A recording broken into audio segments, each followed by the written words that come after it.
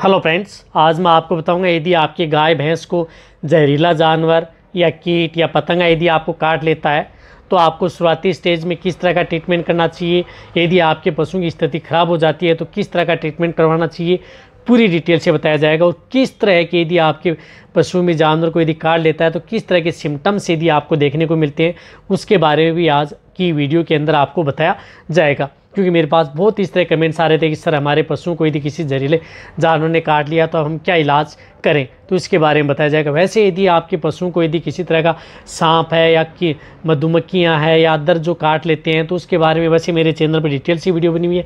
लेकिन यदि आपको अभी ये लेटेस्ट वीडियो देखनी है तो आप दे सकते हैं, इसमें आपको किसी भी तरह का यदि आपके पशु को जानवर को काट लेता है तो शुरुआती स्टेज में किस तरह का ट्रीटमेंट किया जाता है, वीडियो लंबी होगी, स्किप करके मैं देखना, पूरा देखना।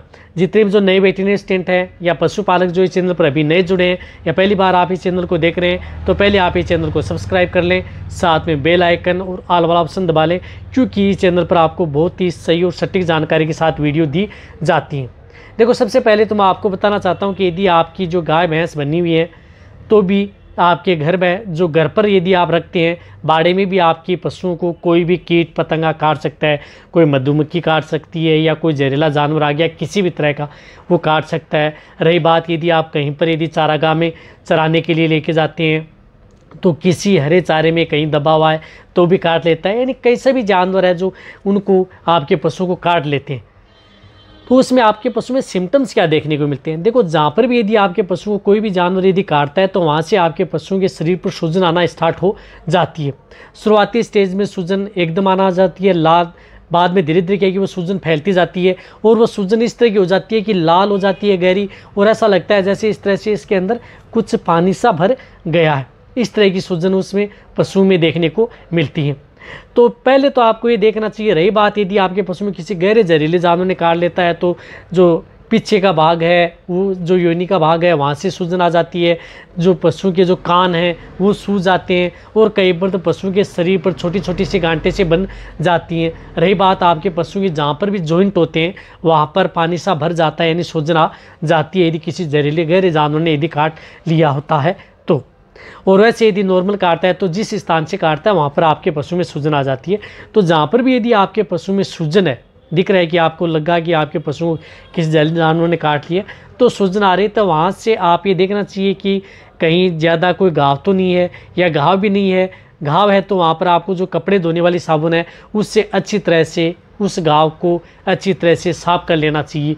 पहली बात तो आपको ये प्राथमिक उपचार के तौर पर आपको ये कर लेना चाहिए। रही बात इस तरह के केस के अंदर आपको ज़्यादा समय नहीं लगाना चाहिए, कि यानी बहुत समय नहीं निकालना चाहिए, कि ये सोचें कि क्या करें, क्या न करें, क्या दें, इसमें आपके पास यदि नज़दीक पशु चिकित्सक है, उसकी सलाह ले लेनी चाहिए। यदि फिर भी यदि आपके पास नज़दीक पशु चिकित्सक नहीं है, कहीं दूर है तो आपको जो मैं टेबलेट बता रहा हूँ, उस तरह की टेबलेट का प्रयोग आप शुरुआती स्टेज में आप अपने पशु में करवा सकते हैं। तो सबसे पहले तो मैं आपको बताना चाहता हूँ, जिस प्रकार से एक वी की आती है एलर्गो प्लस हालाँकि कोई भी हो, किसी भी कंपनी को ये ज़रूरी नहीं कि इसमें, जिसमें साल्टो कलोर फिनेरमाइन मेलेट यानी सी पी एम हो या फिनेरमाइन मेलेट हो, जिस तरह से एविल आती है या एविल टेबलेट आती है जो हम घर में एविल टेबलेट लेते हैं, वह टेबलेट आप अपने पशु को दे सकते हैं। बड़ा पशु है तो उसे चार से पाँच टेबलेट एक साथ दे सकते हैं, छोटा है तो एक से दो टेबलेट यदि वो नज़दीक यदि आपके पास ये एविल टेबलेट मिल जाती है तो ठीक है, यदि वो नहीं मिलती है, यदि वेटिनेरियन मेडिकल है तो वहाँ पर आप इस तरह की टेबलेट जो क्लोरफेनेरमाइन मेलेट की जो टेबलेट ला सकते हैं जो इस तरह की जो टेबलेट आती हैं। तो आप जो बड़ा पशु है तो इसे आप दो बोलस सुबह और दो बोलस शाम आप अपने पशु को दे सकते हैं। किसी भी तरह की यदि आपके पशु में इस तरह की दिक्कत हो गई है तो ये बोलस आप उस पशु को तीन दिन दे सकते हैं। रही बात यदि आपके पशु में वहाँ पर ए, कोई भी यदि दर्द सूजन की यदि बोलस मिलती है तो वो दे सकते हैं। वरना यदि आपको बेटर रिज़ल्ट के लिए आपको जो इंजेक्शन लगाते हैं जिस प्रकार से आइसोफ्लू पेरीडोन साल्ट का, उसी तरह से ये वेनशरा फोर्ट बोलस आती है आइसोफ्लू पेरीडोन साल्ट। हो तो ये बोलस आप प्रयोग कर सकते हैं जो इस तरह की बोलस आती हैं। तो आपका जो लार्ज एनिमल्स है, बड़ा पशु है तो इन्हें आप दो बोलस सुबह और दो बोलस शाम, लगातार तीन दिन। ये दोनों तरह की यदि टेबलेट यदि आप तीन दिन देंगे, यदि एक डोज देंगे तो आपको लग रहा है कि आपके पशु की जो सूजन है वह कम हो रही है, आपका पशु ठीक हो रहा है तो ये आप तीन दिन आप अपने पशु को दे सकते हैं।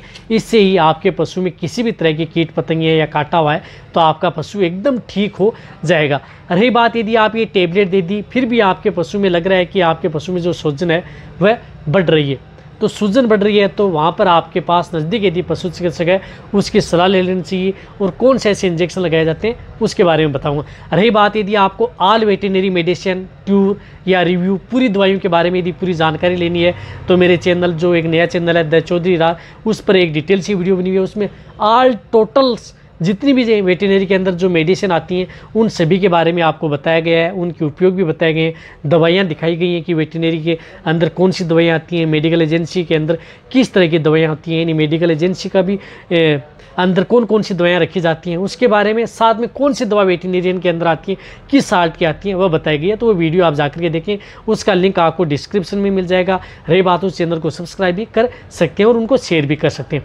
रही बात इंजेक्शन के तौर पर तो आप उसमें जिस प्रकार से आपको लग रहा है कि उसमें घाव पानी सा भरा हुआ है, लग रहा है एकदम चिकना हो रहा है तो आप फ्रिशिमाइड साल्ट का इंजेक्शन जिस प्रकार से रिमोट वेट आता है, ये इंजेक्शन उसे 10 एम एल इंट्रामस्कुलर ये इंजेक्शन आप अपने पशुओं को ज़रूर लगवा लें। ये एक डोज ये लगवानी है। साथ साथ आप अपने पशु को जिस प्रकार से आइसोफ्लिपरीडोन जैसे मैंने इंजेक्शन बताया था, उसी तरह से इंजेक्शन आता है, जो टेबलेट बताई थी, इसी तरह से इंजेक्शन आता है तो इस इंजेक्शन का भी प्रयोग आप करवा सकते हैं दस M L intramuscular isoflupredone salt का। ये भी लगा लेना है। साथ साथ में आपको एविल इंजेक्शन 10 से 15 एम एल, इंट्रामस्कुलर।